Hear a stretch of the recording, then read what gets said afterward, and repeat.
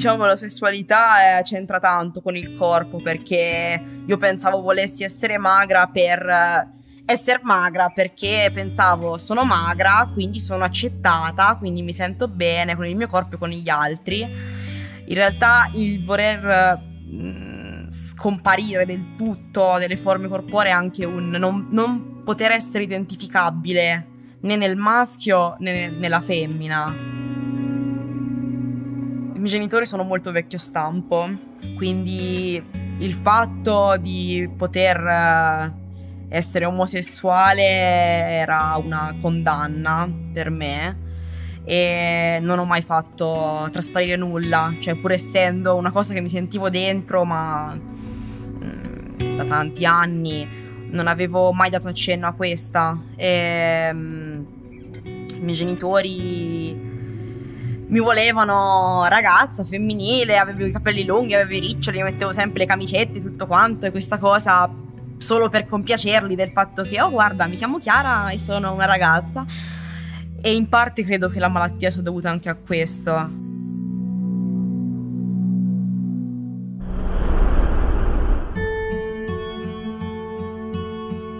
Io sono Fiorenza Sarzanini, vice direttore del Corriere della Sera e questo è un podcast che racconta come si cade in un disturbo alimentare, come si riconosce e soprattutto come se ne esce. È prodotto da Cora Media, si chiama Specchio.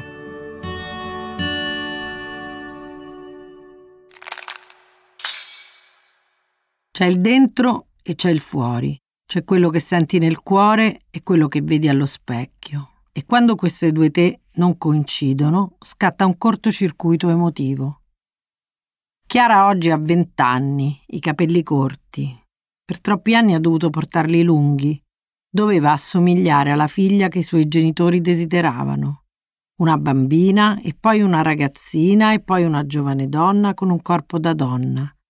Solo che dentro quel corpo Chiara ci stava male e contro quel corpo ha iniziato a scagliare il suo disagio muto. Perdere peso per lei è stato un modo di ribellarsi a quelle forme femminili in cui non si riconosceva, perché il disturbo alimentare spesso nasconde un disagio più profondo, che non ha niente a che fare col peso, la magrezza o l'estetica. Non è il problema tanto il mangio, non mangio, mangio troppo, mangio troppo poco, peso X, peso Y, ma è quello che c'è sotto tutto perché alla fine come uno tratta il proprio corpo è il risultato di quello che uno ha dentro. E il corpo è solo il mezzo per dire sto male, ho un disagio, che sia in eccesso o in difetto, è la stessa medesima cosa. Il percorso di Chiara è uguale a quello di tante altre ragazze e ragazzi in realtà ognuna delle storie è diversa, è unica. Nel caso di Chiara la malattia inizia sotto forma di anoressia, ma fa presto a trasformarsi in bulimia. Rifiutare il cibo prima e vomitarlo poi servono a mandare lo stesso messaggio. Io non sono quella che volete, io non sono felice se mi costringete a essere come non mi riconosco. Chiara deve nascondere la vera natura e questo la fa soffrire.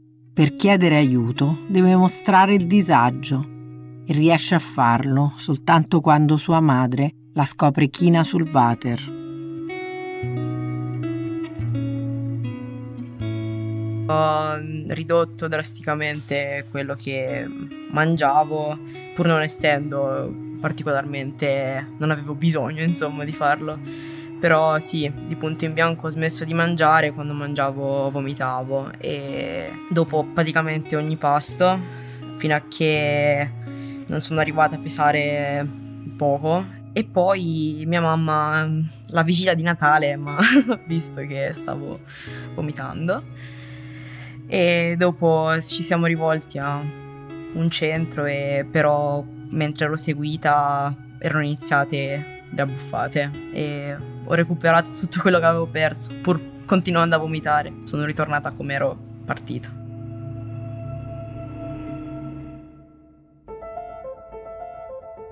Quando scopri di essere malata non accetti subito le cure. Succede alla maggior parte dei ragazzi, ma anche agli adulti che soffrono di un disturbo alimentare. Se sono costretti ad andare dal medico, esasperano i sintomi. È come se scattasse un meccanismo autodistruttivo, subentra la paura di stare meglio, il timore che a quel punto nessuno più si accorgerà di te, nessuno affronterà i tuoi problemi, nessuno accetterà il tuo disagio. Per Chiara la terapia ambulatoriale risulta controproducente, invece di aiutarla a uscire dalla bulimia, la spinge al binge eating, è la pratica delle abbuffate. E allora la bilancia torna a salire, la frustrazione aumenta ed ecco che la malattia prende il sopravvento. Per Chiara, come per molte altre persone, i chili diventano il parametro della felicità Meno pesa, più si piace e all'inizio piace anche agli altri. In una società come la nostra, essere magri significa essere belli. I complimenti che arrivano dagli amici diventano uno stimolo per farsi risucchiare sempre di più in un vortice che invece è solo quello dell'autodistruzione. Sei accettata, sei realizzata, in realtà sei solo malata. I miei amici non, non mi sono stati molto vicino, in parte perché io ne parlavo poco, perché un po' mi vergognavo e mi ammiravano quando avevo perso peso, mi dicevano oh come stai bene, come sei carina e io mi spogliavo in maniera quasi, se non lo facevo mai prima ero quasi sempre mezza nuda perché volevo proprio farmi vedere perché ricevevo tanti complimenti e finché era questione di perdere peso mi stavano vicino, mi incentivavano quasi. E però a un certo punto hanno iniziato a dirmi, oddio però forse così è un po' troppo, stavi meglio prima.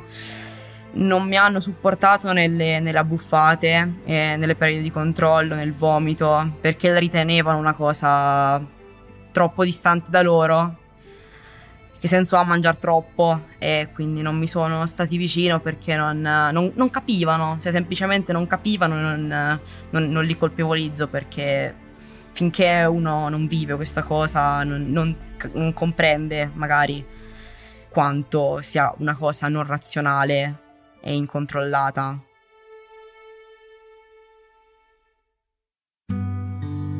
In una prima fase a Chiara piace il suo nuovo corpo magro lo mostra, lo esibisce con orgoglio.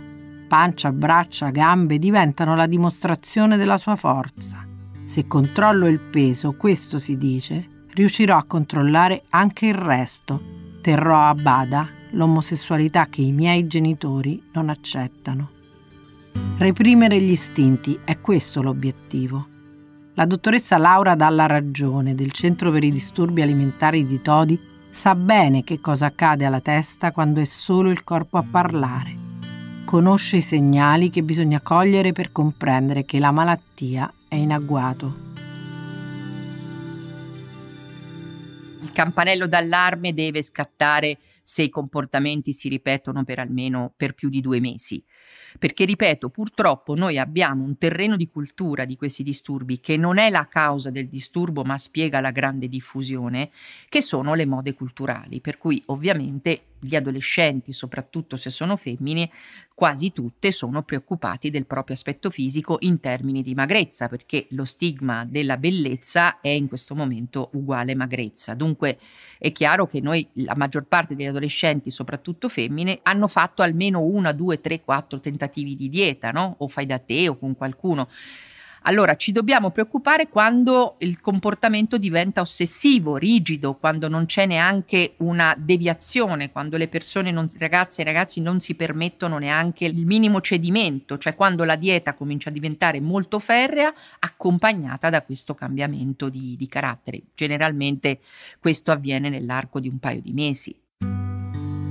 Individuare i primi sintomi non è facile, per questo la maggior parte dei genitori poi si colpevolizza credono di non essere stati abbastanza attenti, abbastanza presenti, di non essere stati bravi ad accudire il proprio cucciolo. Soltanto quando inizia il percorso di cura capiscono che non è affatto facile perché si tratta di una malattia subdola che si impossessa delle persone in maniera graduale, si manifesta molto lentamente. Quando la perdita di peso è importante vuol dire che sei già avanti eppure quasi nessuno se n'era accorto. Durante i primi colloqui con gli specialisti alla domanda su quando sia iniziato il disturbo, i ragazzi e gli adulti danno risposte spesso molto diverse, addirittura contraddittorie. Teniamo anche conto che all'inizio le ragazze non vogliono farsi curare da nessuno, quindi il genitore c'è tutta una fase in cui deve aiutare la figlia o il figlio a convincersi che c'è un problema, perché inizialmente loro sono completamente privi di questa consapevolezza. Non a caso me arriva una ragazza accompagnata dai genitori, i genitori mi dicono si è ammalata quest'estate, a settembre dopo il ritorno dalla, dalle vacanze, ha cominciato a perdere peso, eccetera. Poi io parlo con la ragazza e la ragazza mi dice ma cosa? Io in realtà sono due anni che penso a come fare per perdere peso, quindi per noi la malattia non è iniziata a settembre, come pensano i genitori che hanno visto l'effetto, ma è iniziata due anni prima con l'ossessione. Semplicemente la ragazza a quel punto ha trovato il sistema per perdere peso. Per questo sarebbe importante arrivare un po' prima, perché eh, a volte noi arriviamo che già la malattia è andata avanti 3-4 anni come ossessione, ma per noi vale quella, cioè la malattia è quello. Per perdere peso Chiara vomita e così inganna chi le sta accanto che invece la vede mangiare. Sono molti i modi per far calare l'ago della bilancia. C'è chi fa un solo piccolo pasto al giorno, c'è chi prende i lassativi, chi fa ore di attività fisica, chi beve litri di acqua gelata per riempire lo stomaco, chi inventa disturbi. Controllare il proprio peso diventa un modo per controllare la propria vita e questa ossessione a volte ritorna si ripresenta in alcuni momenti cruciali. Ci può essere un momento di difficoltà in cui si ri- ritorna a quel tipo di, di, comportamento, che è un modo di controllare alla fine no? il peso, ma anche le emozioni, la vita e tutto quello che ci sta intorno non è una ricerca estetica, no, assolutamente, è una, un modo con cui si pensa di poter controllare uno degli stimoli più forti, che è quello del, della, della fame, della sazietà, quindi controllando quel tipo di stimolo io mi sento potente, mi sento forte. Una ragazza di 17 anni che ho curato mi diceva io dottoressa nella vita non ho combinato niente, a scuola non sono brava, con i miei genitori non vado d'accordo, non ho il ragazzo, non ho gli amici, l'unica cosa che sono stata capace di fare nella mia vita è perdere 15 kg. E lei me li vuol fare riprendere? Però il meccanismo lì è che nel momento in cui la ragazza o il ragazzo hanno, sono riusciti a controllare il peso, il corpo e quindi ad ottenere quel risultato si sentono forti su tutto il resto. Partiamo sempre da un'autostima bassissima, eh? Cioè stiamo parlando di ragazzi meravigliosi, brillanti, che tu dici mm, non, non dovresti essere felice per come sei, no? sono belli, intelligenti, bravi, eccetera, che però si sentono mh, mm, delle schifezze, quindi l'autostima è molto molto bassa, cioè la sensazione è quella di non meritare la felicità e di non meritare di vivere, di non meritare di essere felici, di non meritare nulla, di non meritare l'amore questo è un grande tema, no? Loro non è che dicono che non hanno ricevuto amore, loro dicono io non mi merito l'amore dei miei genitori, non mi merito l'amore dei miei amici. Quindi è un tema di profondissima eh, disistima, no? Anche Chiara sente di non meritare l'amore dei genitori. Teme di perderlo nel momento in cui dovrà confessare la propria omosessualità. L'aiuto dei terapeuti diventa quindi fondamentale per affrontare e superare questo momento così difficile. Alla fine la mia credo sia stata il frutto di un compiacere sempre gli altri per poi arrivare a niente.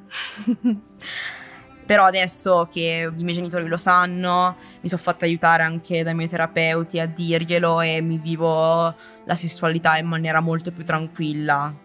E loro lo hanno accettato? Ancora no.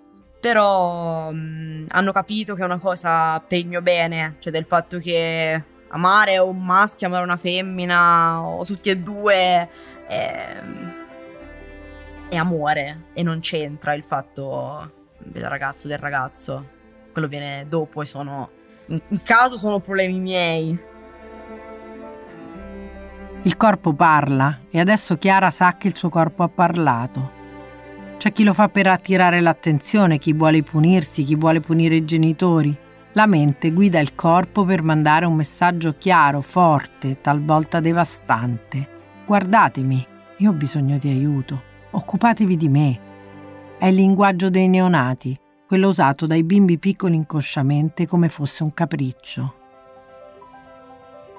Io credo che alla fine questa sia una malattia che nasca con le parole e si curi con le parole e con l'espressione di sé.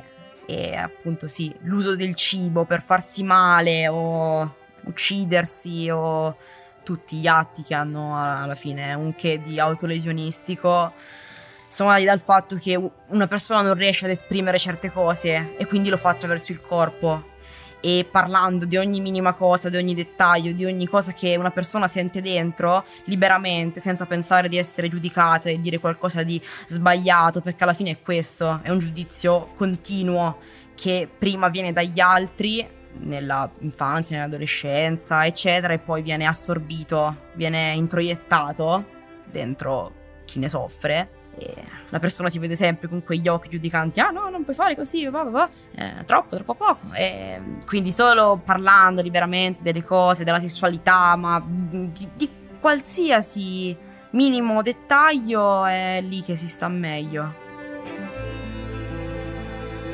Il disturbo alimentare causa una visione distorta del proprio corpo.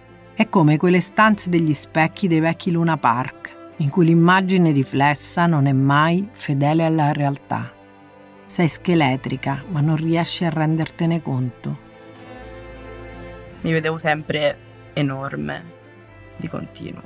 La terapia dello specchio mi ha aiutato tanto perché sto imparando ancora, diciamo, eh, c'è da fare, però sto imparando ad accettare il mio corpo anche solo vedendolo e capendo come è fatto, capendo quante cose può fare un corpo e non vedendolo solo come un oggetto, una cosa che può essere allargata, ristretta, ferita um, o altro. Uno apprezza quanto uno può fare con tutto il corpo, con tutte le braccia, con le mani, con le gambe, con, può abbracciare, può, può, può, saltare, può camminare in maniera non disfunzionale.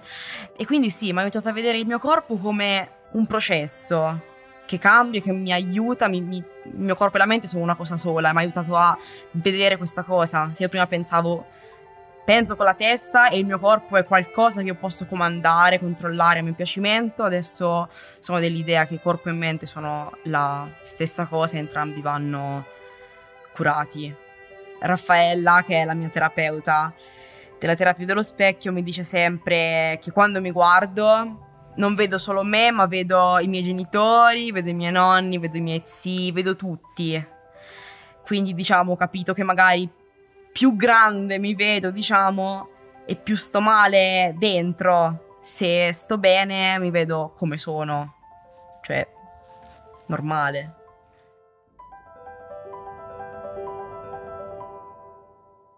Quando un figlio si ammala, i genitori si arrovellano. Spesso si interrogano insieme sulle proprie colpe, molto più spesso si accusano a vicenda di essere responsabile. Troppo amore, poco amore, troppe attenzioni, trascuratezza. A volte si ammalano anche loro. Prendono antidepressivi, ansiolitici, cercano di tenersi a galla. In realtà ogni storia è diversa, ogni disturbo ha una causa, ma individuarla è difficilissimo. Il professor Alberto Villani dell'ospedale Bambino Gesù di Roma cura i piccoli, ma si occupa anche dei grandi su molti dei disturbi eh, di questo tipo diciamo c'è ancora grandissimo dibattito. Quindi che l'anoressia possa essere correlata a un rapporto diciamo non ottimale e funzionale con i genitori sono state fatte moltissime ipotesi e sicuramente in molti casi l'allontanamento dal contesto familiare si rende necessario e può essere ciò che sblocca un pochettino la situazione. Però ecco, non, non, credo che si debba colpevolizzare nessuno, nel senso che sono delle situazioni che insorgono e non è che sono ne- necessariamente correlate a dei comportamenti sbagliati di qualcuno. Sarebbe veramente un errore, ma questo sempre, mettere in correlazione la malattia, perché stiamo parlando di fatto di una malattia a responsabilità di qualcuno, che quando la malattia insorge, è bene che ci sia un coinvolgimento di tutta la famiglia per aiutare il soggetto e essergli più utile possibile, questo sì, ma non è che si diventano ressici per colpa di papà, della mamma o della nonna o della professoressa. È un contesto che è fatto di tanti tasselli. Quello che posso dire è che sicuramente per uscirne c'è bisogno del contributo di tutti, quindi dei genitori, degli insegnanti e degli amici. Per Chiara il ricovero a Palazzo Francisci e poi il percorso di terapia seguito al nido delle rondini di Todi sono stati fondamentali. Ha imparato a fare pace con il suo corpo. Si è liberata del peso di quell'omosessualità negata che non la faceva vivere. Ha ricominciato a vedere nel cibo un piacere, non un nemico. Ha trovato l'amore. Un amore che adesso però dovrà uscire dal nido e provare a sopravvivere nel mondo reale.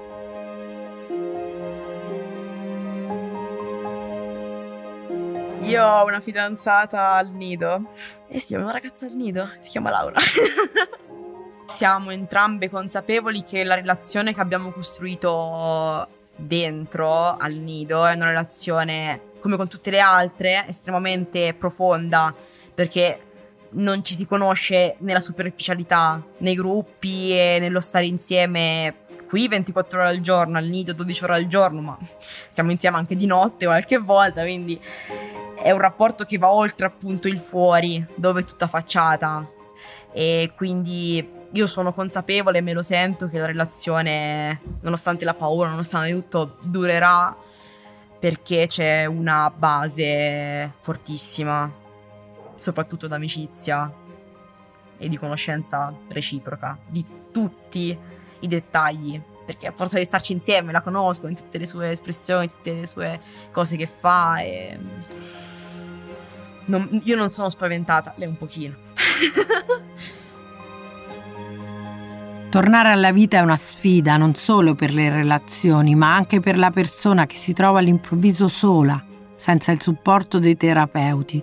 È un momento importante e delicato, una rinascita che però talvolta è segnata da ricadute, altri inciampi. E allora hai paura, pensi che non potrai farcela, però ci provi, sfidi quei sentimenti altalenanti.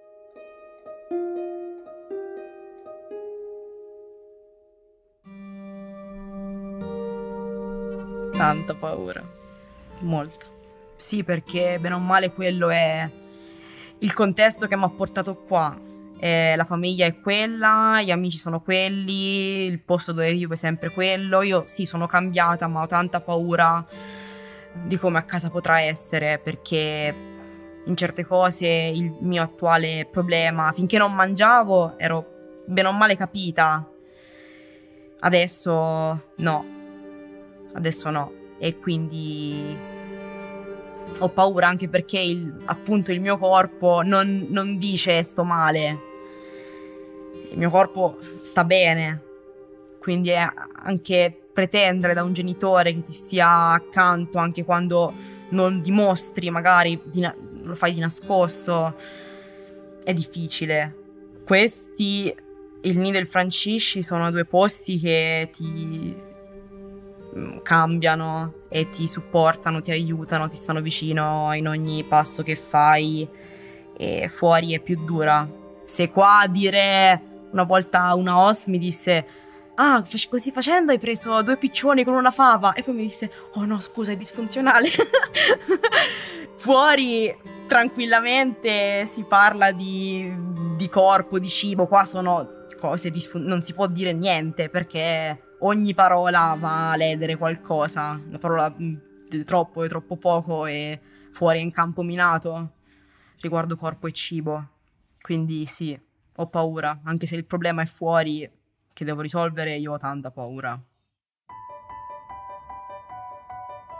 Per chi soffre di un disturbo alimentare, il cibo diventa un'arma da usare contro se stessi.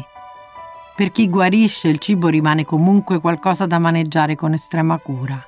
Sei sempre attenta, quasi guardinga, temi che possa tornare l'incubo, anche se ti senti forte, la paura di ammalarti di nuovo non ti abbandona mai.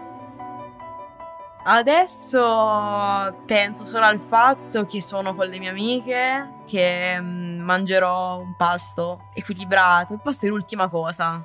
Cioè, mangio, ma mangio insieme a persone che mangiano insieme a me, insieme si chiacchiera, si ride, si parla, tutto quanto. Si ascolta la musica, si sente sempre la musica, quindi è un momento che io adesso mi vivo bene. Se prima era una continua ansia, il momento del pasto, di qualsiasi pasto.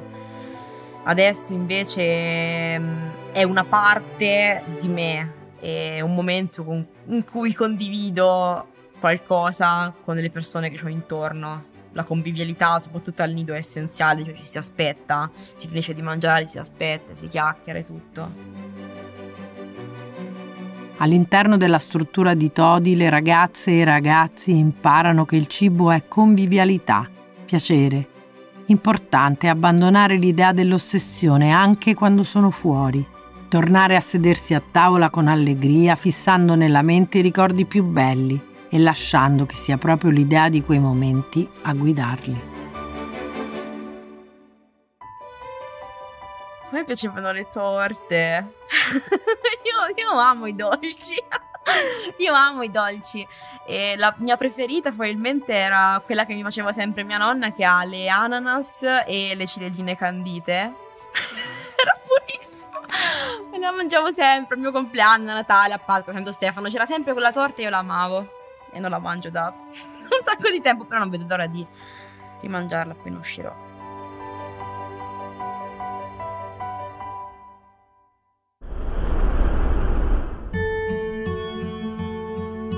Specchio è un podcast di Fiorenza Sarzanini prodotto da Cora Media. È scritto da Fiorenza Sarzanini e Francesca Milano. Post produzione di Giuseppe Magazzù. La cura editoriale è di Francesca Milano. Il producer è Matteo Perkins. Assistente al montaggio Francesca Abruzzese. I fonici di presa diretta sono Lorenzo Ferrillo e Gabriele Lamendola. Il fonico di studio è Jacopo Lattanzio.